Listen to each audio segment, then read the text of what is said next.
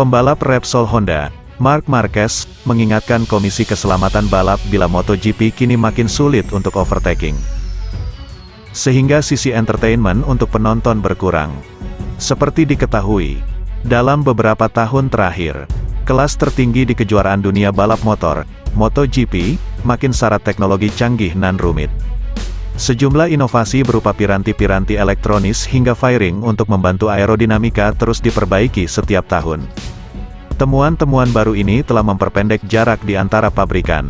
Alhasil, gap hanya 0,1 detik pun akan membuat perbedaan besar di sesi seperti kualifikasi. Ujungnya balapan bakal makin ketat namun berat bagi para pembalap. Sebagai salah satu pembalap syarat pengalaman di MotoGP musim ini, Mark Marquez Repsol Honda, jelas mampu membedakan seperti apa situasi kelas Premier saat ini dibandingkan. Misalnya saat ia melakukan debut pada 2013. Pembalap asal Spanyol itu pun menggarisbawahi bila pertunjukan untuk penonton atau aksi saling balap alias overtaking makin hari makin sedikit. Penonton tidak peduli bila seorang pembalap mampu lebih cepat hingga 0,5 detik sekalipun. Mereka yang menyaksikan langsung di tribun maupun penonton di rumah hanya ingin menyaksikan banyaknya overtaking di MotoGP. Lebih lanjut, Marquez membuat comeback spektakuler pada MotoGP Amerika di Circuit of the Americas pada tanggal 10 April lalu. Sempat tercecer di posisi belakang, juara dunia MotoGP 6 kali tersebut, mampu finish P6 di kota. Namun saat seorang pembalap siap bersaing di kelompok depan, ia akan sangat sulit untuk melewati lawan. Utamanya saat pembalap di depan mereka tidak membuat kesalahan. Dengan motor-motor saat ini, pembalap harus sangat agresif bermanuver untuk melewati lawan. Dengan piranti-piranti seperti ini hingga komponen aerodinamika, kini benar-benar sulit melewati lawan. Ucap Marquez. Sementara itu pada balapan terakhir di sirkuit Bugatti, Le Mans, Prancis dua pekan lalu. Mark Marquez mampu finish P6. Namun itu tidak lepas dari terjatuhnya dua pembalap Suzuki X-Star dan Francesco Bagnaia Ducati Lenovo. Isu yang dilontarkan Mark Marquez ini juga sudah pernah didiskusikan Komisi Keselamatan MotoGP beberapa waktu lalu. Tetapi memang sangat sulit untuk menemukan solusinya. Pasalnya sejumlah solusi yang muncul kerap berbenturan dengan upaya penerapan teknologi di MotoGP. Jika tetap dipaksakan, dikhawatirkan, MotoGP justru mengambil langkah mundur.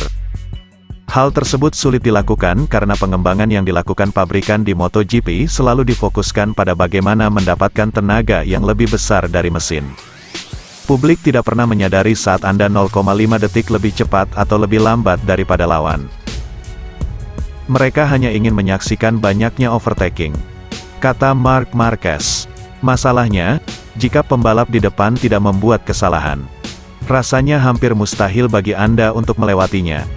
Sampai tujuh balapan yang sudah digelar musim ini, Mark Marquez, belum sekalipun mampu naik podium.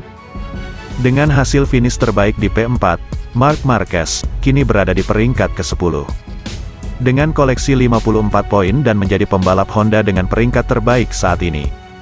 Marquez tertinggal hingga 48 poin dari juara dunia yang tengah memimpin klasemen MotoGP. Fabio Quartararo, Monster Energy Yamaha MotoGP.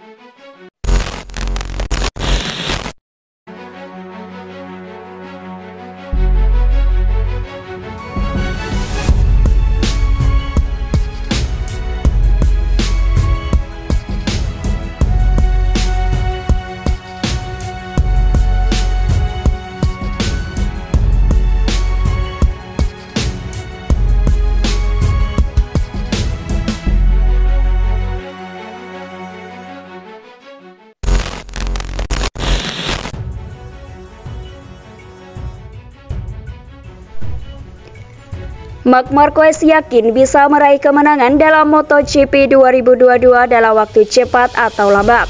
Pembalap Repsol Honda punya motivasi yang lebih besar.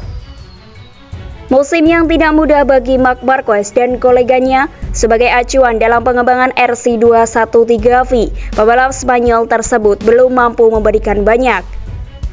Sejak pulih dari cedera humerus lengan kanan, ia seolah kembali ke titik nol kembali beradaptasi dengan atmosfer balapan dan prototipe. Alih-alih stres, Marquez menikmati prosesnya. Pembalap 29 tahun tersebut ingin bersenang-senang tanpa memaksakan diri untuk menang.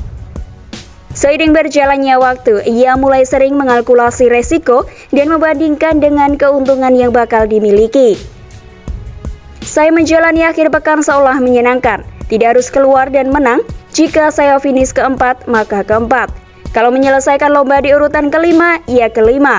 Sama halnya kalau finish keenam, ya keenam. Ujarnya dalam wawancara dengan DAZN. Kemenangan pasti akan datang, semoga. Lebih dari mencoba merek lain atau tim lain, saya punya motivasi yang lain. Sekarang, saya termotivasi untuk memperjuangkan titel, namun dengan tim ini, bukan dengan yang lainnya.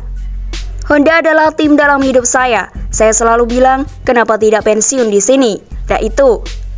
Bagaimanapun, Marquez tak menyembunyikan keinginan untuk kembali menghirup aroma kemenangan.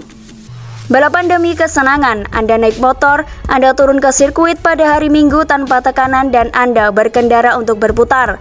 Tapi di trek, Anda akan berkompetisi. Saya di sini untuk berkompetisi dan merayakan berbagai hal lagi. Apakah itu demi titel? Tidak. Saya tahu, tapi semoga saya dapat bertarung itu sudah cukup bagus. Pemulihan patah humerus kanan juga terganggu oleh gangguan visi atau diplopia. Ia masih melakoni terapi dan pemeriksaan rutin, selain mengubah menu latihan dan gaya balapnya. Saya harus melaju dengan gaya berkendara beda karena cedera.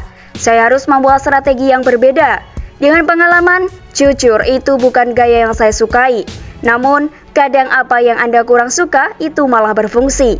Ia menjelaskan. Saya belajar juggle. Ini yang harus Anda pelajari sebagai anak-anak. Saya belajar melakukannya sekarang karena pandangan. Saya terus menjalani latihan ini sebagai tindakan pencegahan. Sekarang, setiap bulan saya menjalani pemeriksaan. Mereka melihat mata saya dari dalam retina. Semua ini